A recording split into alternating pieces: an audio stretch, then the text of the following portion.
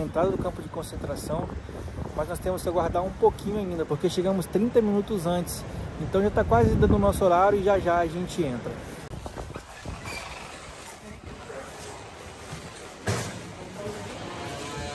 Chegamos aqui no campo de concentração. Uh, ah, Para a gente entrar, mostramos o nosso ticket e passamos por uma fiscalização um pouquinho rigorosa é, onde a gente passou por uma cabine que acredito eu que seja é, o foco maior seja a questão do Covid, né? Uma cabine onde você fica ali alguns segundos e sai algum produto que eu não sei bem qual que é.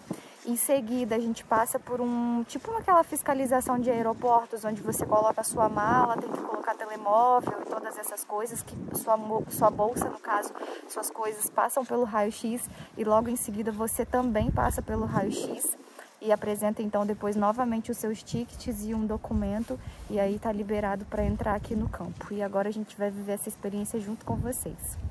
E bem aqui na entrada a gente já se depara com essa essa gravura aqui, né, mostrando os judeus entrando aqui para dentro do campo de concentração. E aqui em cima está escrito, ó, o trabalho liberta. E é justamente essa entrada aqui que nós vamos fazer que é por onde eles passavam e não voltavam mais. Depois que eles passavam por esse arco aqui, tá vendo aqui escrito?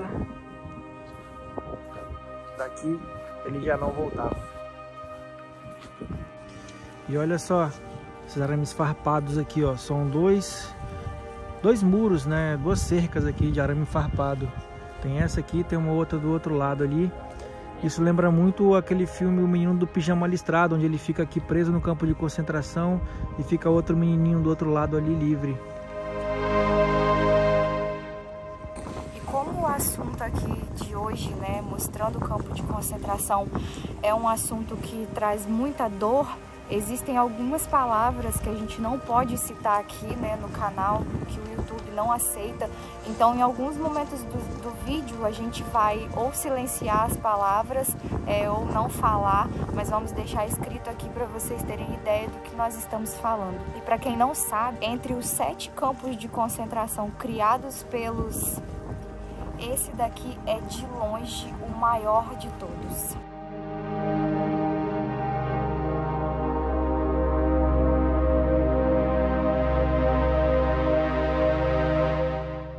E aqui, mais de um milhão de pessoas perderam as suas vidas de várias formas, sendo elas com frio, sendo elas de fome, sendo elas com aquela barbaridade do gás.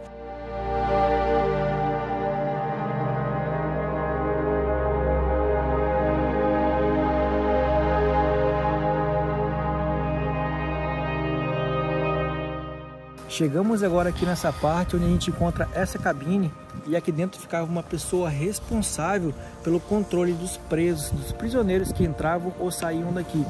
Se no final do dia, na contagem, eles por acaso sentissem falta de algum prisioneiro, todos os outros prisioneiros pagariam por, pelo sumiço desse, dessa pessoa. Ou seja, eles poderiam ser punidos como, por exemplo, ficar em pé no tempo por várias horas, independente de como estivesse o clima. Podia estar nevando, chovendo ou o que for. Todos eles pagariam por isso. E vindo da cabine que nós estávamos ali na frente, nós encontramos esse quadro aqui informando, né, sobre as vidas que foram encerradas aqui nesse lugar de forma pública ainda e dessa forma aqui que não preciso nem mencionar aqui no vídeo.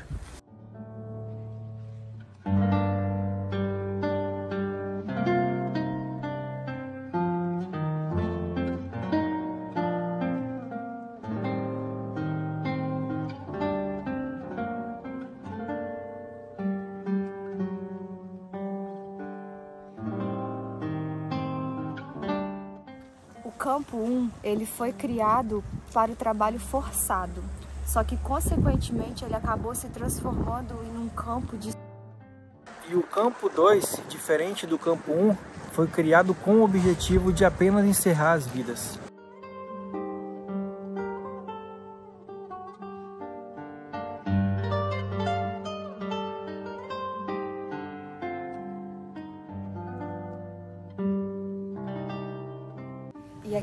Galpão que nós entramos agora, a gente se depara com uma cena muito difícil que mostra como era a situação de vida deles, como que eles viviam, né, amontoados em várias camas e aqui do outro lado, olha,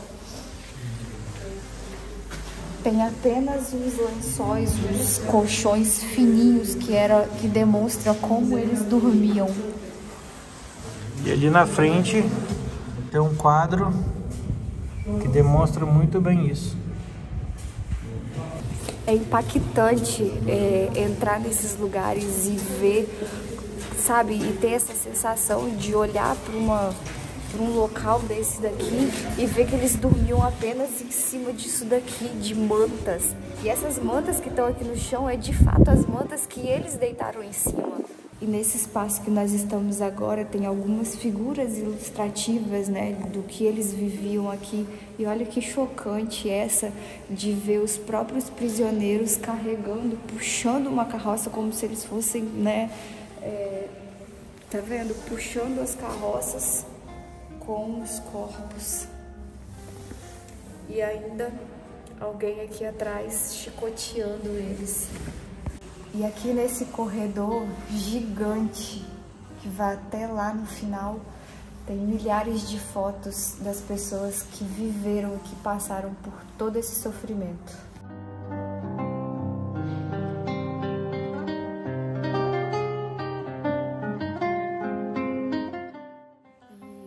Muito impressionante assim. Eu sei que a gente vai falar várias vezes no vídeo que é chocante, que é impressionante, porque realmente tá aqui e ver isso mexe muito profundamente com a gente, assim, sabe? Você olhar essas roupas aqui e saber que eram com essas roupas que eles chegaram e depois eles vestiam aquelas ali, ó. Ainda mais uma parede cheia de fotografias de crianças, de adolescentes, é impactante demais.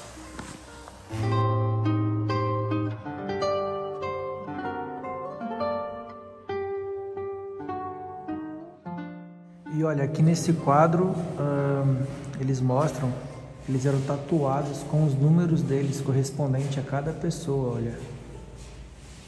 Ou seja, isso ficava gravado neles para sempre. Imagina a vida deles olhando apenas dessa janela e sabendo que eles nunca poderiam sair daqui de dentro.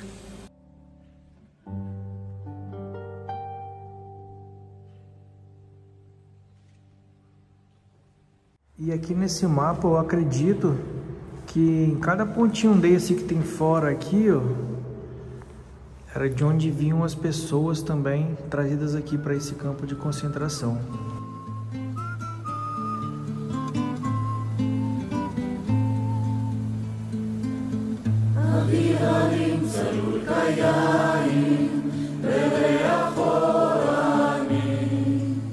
Nesse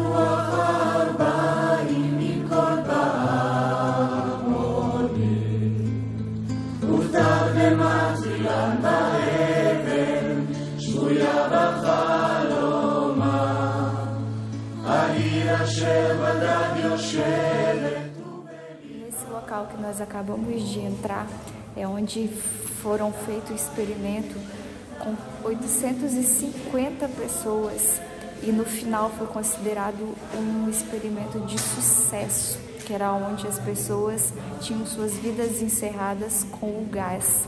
Então esse local aqui é a câmara de gás e aqui do lado logo tem o crematório. E como esse experimento foi considerado um experimento de sucesso por eles, foi então onde eles criaram, né, o campo de concentração 2, que era especificamente para isso.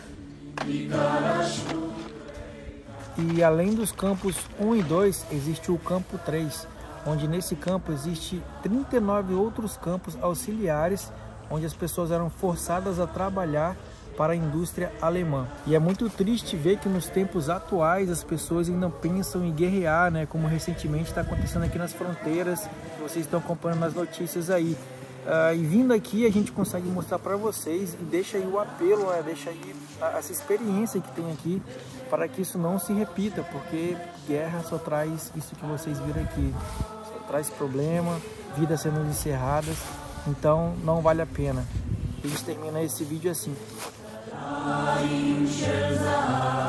ושל נחושת ושל אור, הלא